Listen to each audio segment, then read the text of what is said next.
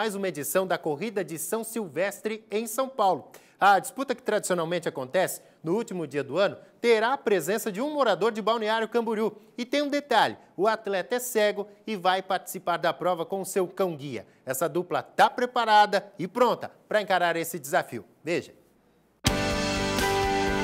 Enquanto o Marcos treina Muay Thai, o cão-guia dele, a Dubai, fica à espera. E esses dois estão juntos em todos os momentos. Afinal, essa cachorrinha é quem leva o parceiro, já que o Marcos é cego há dois anos e meio. Na praia, nas ruas, os dois são mesmo inseparáveis.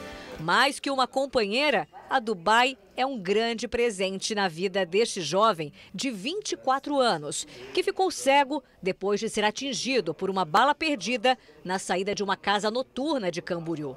Desde lá, o Marcos se recupera. Ele teve depressão e foi quando recebeu esta super amiga que ele voltou a ter uma vida normal, mesmo sem enxergar.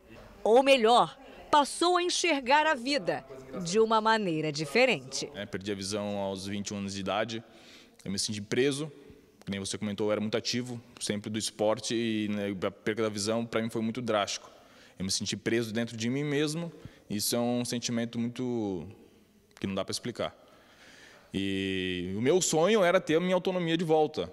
Né? Eu tenho uma filha de três anos e meio, na época ela tinha oito meses, o meu sonho era poder ir até minha filha sem depender de ninguém. Um dia a Dubai já esteve aqui, assim como esses cães, aguardando para ser preparada e ser os olhos de uma pessoa. Ela foi a última de quatro irmãos a encontrar um parceiro ideal. Mas foi desse encontro que surgiu a dupla. Marcos e Dubai. A Dubai é mesmo um amor de cadelinha e uma profissional responsável por causa do treinamento que teve. Quando coloca o uniforme dela de guia, Aí a brincadeira fica de lado e passa a ser responsável por uma vida. A Grazi, que trabalha na escola de treinamento de cãos-guia, Ellen Keller, de Balneário Camboriú, acompanhou todo o processo, desde a socialização até o momento em que a Dubai estava pronta para conhecer o Marcos. Chega no dia da entrega aqui, é, algo simples aqui, né? Quem socializou vem, se estiver na cidade, alguma coisa, faz a entrega junto com o treinador para o usuário. É, não tem um que não chora, tá? Até quem não participou disso se arrepia, chora, porque é incrível você fazer a entrega de um cão-guia e ver o ser humano saindo ali com ele. É, é demais. A Dubai também fez com que o Marcos conseguisse ter uma melhor convivência com a filha de três anos.